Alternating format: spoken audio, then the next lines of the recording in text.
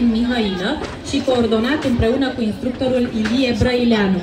A obținut locul întâi la Slatina în 2021 și 2022, atât la Căluș cât și la dans mix și locul întâi la Caracal în 2020. Reprezintă Palatul Copiilor Slatina, județul Olt.